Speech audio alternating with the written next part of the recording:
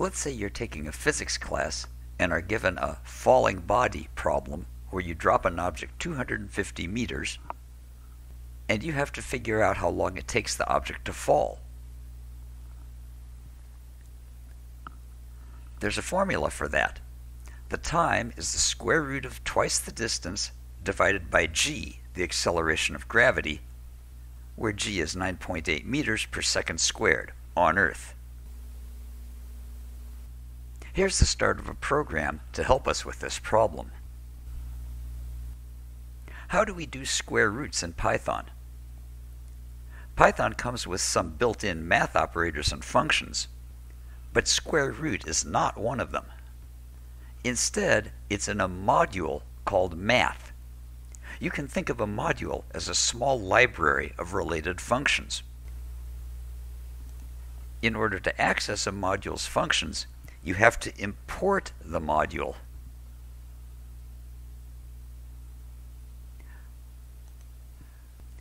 Once you do that, you can use the square root function by giving the module name, a dot, and the function name. In this case, sqrt, the abbreviation for square root. In parentheses, we'll put the division 2 times the distance divided by gravity,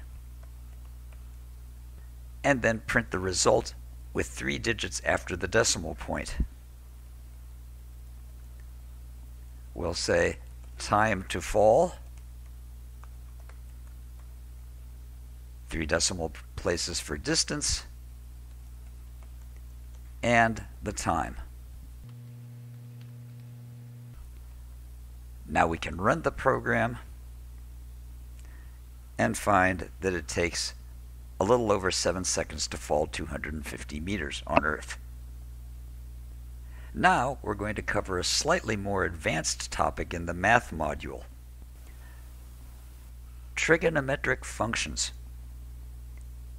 If you've never heard of these functions, sine, cosine, and tangent, you may want to look at a small tutorial about them or do a web search for tutorial sites or skip ahead to the summary of this video. Let's go to the Python shell to examine these functions. If you've studied trigonometry, you might remember that the sine of 30 degrees is 1 half. We'll import math and then evaluate math.sine of 30. And that result is definitely not 1 half. The reason is that the sine, cosine, and tangent functions do not take their arguments in degrees, but in radians.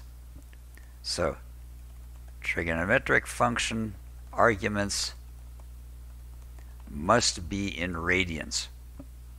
And it turns out that 180 degrees is the equivalent of pi radians. Let's convert that 30 degrees to radians by hand. We'll take the sine of 30 times math dot pi using the pi constant that's part of the math module and dividing by 180. And that's much better. It's not exactly equal to 1 half because math.pi has a finite number of decimal places but it's a lot closer than negative 0.988. If you don't want to convert to radians by hand, you can use the radians function that's also a part of the math module. We can say math.sine and call the math.radians function, give it 30 degrees, which will convert it to radians, and we'll come up with the same answer. In summary, you need to import modules to use functions that aren't built into Python,